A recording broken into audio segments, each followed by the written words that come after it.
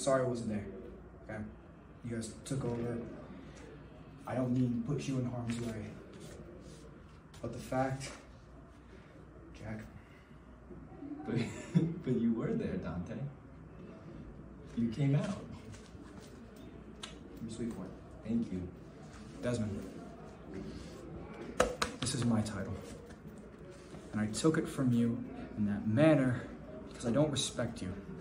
Because the second you started getting all these other opportunities, you left this place to rot. And who had to pick up the slack? Me. I wasn't ready to do that yet. I was still in college. I was still messing around and partying and drinking. But I had to step up.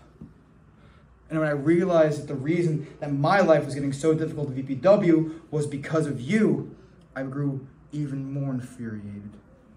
So when I had the biggest accomplishment in my career up to that point, winning the Gold Rush Rumble, I knew I had to take action immediately.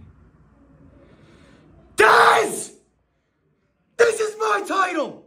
I don't respect you as a wrestler. I don't respect you as a person. I don't respect you anywhere in New York!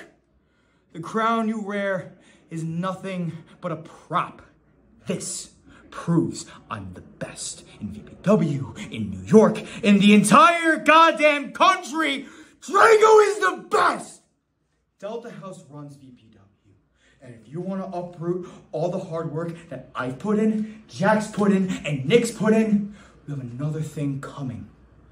In April, I'm putting an end to this.